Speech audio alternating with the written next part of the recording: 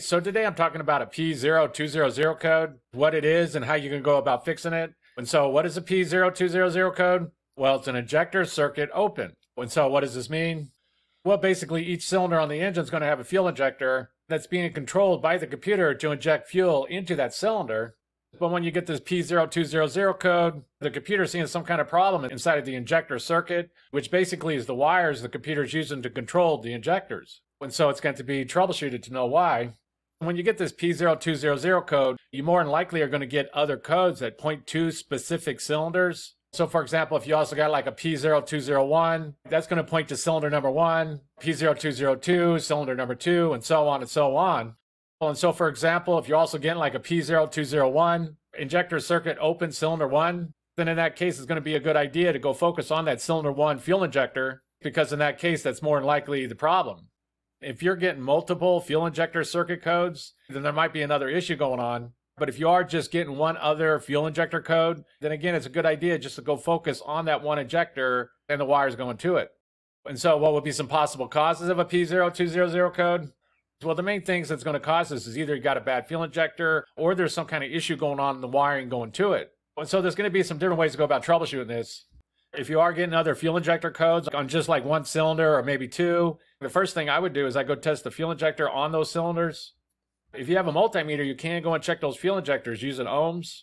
Basically, how you go about testing the circuitry part of the fuel injector. There can be other problems with the fuel injector, but the fuel injector circuit part is a coil that's built into them. So you can use ohms on a multimeter to go and test that coil that's inside of there. Basically, to do this, you look up what the rated ohms are for that fuel injector, since there can be differences, and then you check to see if it falls inside that range. And if it doesn't fall inside that range, then that coil that's built into there, it's gone bad. If you can't find what the rated ohms are for that fuel injector, you can go and test the known good one and then check to see if the suspected bad one matches that. So, for example, say you're getting a P0201. So you go to test that fuel injector on cylinder number one, but you're not getting no codes for cylinder number four. Then you can't test that fuel injector on cylinder number four and then see if cylinder number one fuel injector matches. But basically, if you're getting one other fuel injector circuit code or maybe two, the first thing I would do is I go test the fuel injectors on those cylinders and be sure they're good. And the next thing that could cause this is some kind of wiring issue. If there's any kind of open, short, a blown fuse, anything like that, then that can cause problems. If you are getting a lot of injector circuit codes, especially if all the cylinders are showing fuel injector circuit codes, then for sure it's a good idea to go check for any fuel injector fuses that might have gone bad. Because if there's a blown fuse, then that's going to cause problems. And if there is a blown fuse, then more likely you'll be getting a lot of other fuel injector circuit codes. If you do go to work on your vehicle, it's a good idea to get wiring schematics and diagrams that way, you know for sure what's going on with the fuel injector circuit on your particular vehicle. But usually, what's going on with these fuel injector circuits is that when the key goes into the on position, one wire is going to always be hot. It's always going to have 12 volts going to it. And then the other wire is going to be ground. And the ground side is going to be controlled by the computer. And that's how the computer controls the fuel injector is by controlling the on and off with the ground wire. And so if you have a test light or you have a multimeter, the first thing to do is go put the key in the on position and be sure you're getting 12 volts to the circuit on one of the wires. Because when the key's in the on position, one of the wires should always be hot. You can also test the ground side and be sure there's a good ground.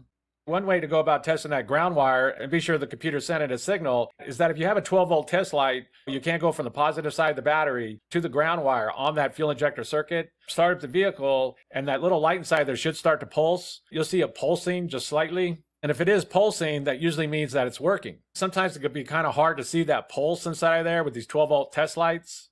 And so for that reason, a lot of people, they'll use what's called a Noid light. These are real low cost devices, usually like around $5 or so. And basically, you just plug them into that fuel injector circuit, start up the vehicle, and if you can see a pulse inside of there, then you know it's working. And if you don't see a pulse inside of there, you know it's not working. If you need to see what I'm talking about with these Noid lights, I'll put a link down below in the description box. And these Noid lights are much better to use than a 12 volt test light because it's easier to see that pulse inside of there.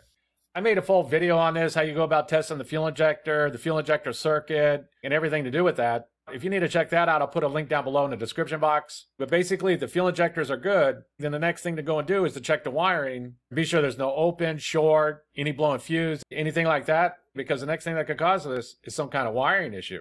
And so that's basically it. I just wanted to give a basic overview of how you go about fixing a vehicle with the P0200 code. If you have anything to add, please comment down below. If you have any questions, ask me and I'll try to answer them. If this video helps you, please click like, please click subscribe, and have a good day.